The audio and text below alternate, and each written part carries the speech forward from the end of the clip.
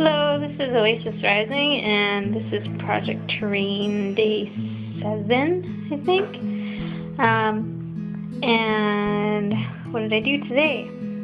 So today, I designed an altar that's going in the middle of my piece, and um, this is a motif of the Dark Elves. Not exactly sure which, but my idea is kind of like a sacrificial altar where and the channels and their boarding bricks.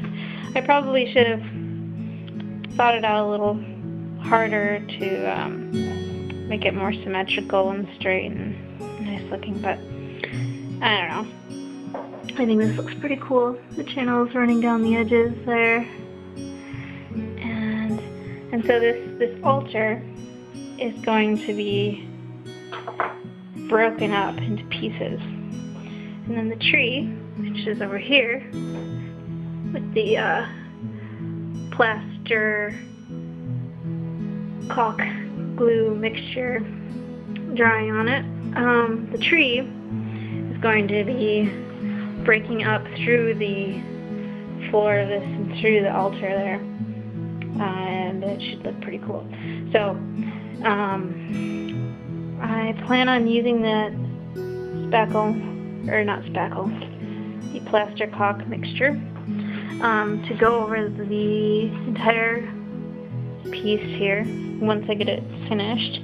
Um, but one thing I am trying to figure out is how to um, break up the tiles. Now, what I could do is just construct new tiles and then just have them kind of just make it look like it's part of the original base. Sorry for the moving around. And then just kind of have them rising up towards there it all broken and rubbly. And that might work just fine. Um, but yeah, should uh, work out pretty nicely. Um, so thanks for watching and thanks for all your tips everybody and um, and it's uh, coming along. Don't have too many days left. Um, I'll be out of town next weekend, and then the competition is the 25th. So um, on the 25th is also a Dragon Boat Festival, which I'm participating in the races for. Um, so I have to practice for that as well uh, I tend to overbook myself a little bit. So that's that's about it. Thanks for watching. Bye.